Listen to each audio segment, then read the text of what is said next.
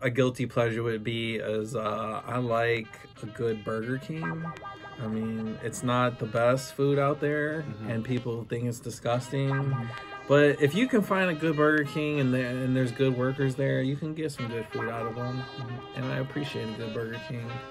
Now I'm not. Well, what's Texas. your I'm not saying? I like the original chicken sandwich with cheese. Just Yeah, that. right. Hell, It's disgusting. go to a Burger place It's and get a fucking disgusting.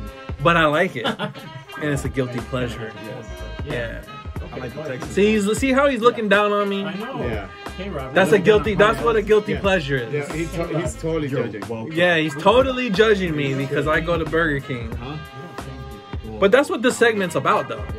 Yeah. The segment's about. We're, we're, this Shame. This is, So this when is the the thing he says, I'm gonna say you're a This is a disgusting piece of place. shit. For people. So we, we can talk about. Okay. But I am a disgusting piece of you scared the shit Sorry. me, bro. I am a disgusting piece of shit because I like Burger Turn King, Chris down a little and bit. I'm not afraid to admit that. Yeah, holy shit, you scared me. And I hope you, I hope you, I hope the listeners out there understand what I'm saying. When you get a nice, Yeah. a nice fast food place, because they're not all created equal, right? There's people there that don't give a shit. They're probably Yeah. wiping their ass and making your food. Sometimes, no, Burger King, it, it's like, it's true what he says. Yeah. Like, you have to find the right one. Well, it's like Sometimes that for bread is fucking KFC. It's like that for Taco Bell. It's like they're not all created equal. There's gonna have they're gonna have a manager that really is passionate about serving people good food, and then you're gonna have a manager that doesn't give a shit. Burger King was my first job, and believe me, I did not give a shit about that. Place. Exactly. There you go. I was I was making shit like I'm like oh yeah whatever. You're really taking a chance with your life going to fast food these days. Yep. After you see some of the shit that goes viral from some of these places, you're putting your life in your hands. For real. So that's been to a so that's a true definition of a guilty pleasure. What's your guilty pleasure?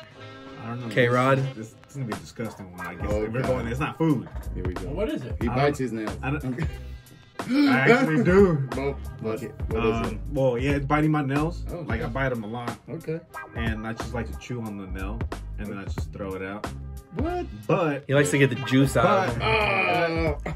but when I do my toenails, Oh, here we go. I don't use a, to- a toenail clipper. What do you I use? just use my finger, like I mean my nail. Oh, and carrot? I tear it off, yeah.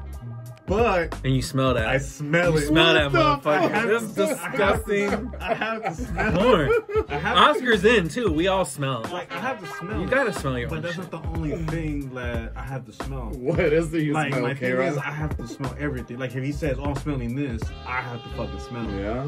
If he says, "Oh, I farted," I have to fuck. For some reason, I have to. Like, I have to smell. He's gotta walk through it. 'Cause I believe I have a strong smell. Like I can smell something as far like, oh shit. I I, thought you meant like, what about when somebody just finishes using the restroom? Oh man, I hate that. dude, it sucks. But when I, no, when I go in there, I have to go like. I- This guy over here looking down on me for having a fucking ordering a chicken sandwich at Burger King. This guy's going in here You're fucking disgusting. hot boxing people's shits. Oh my god. Jesus.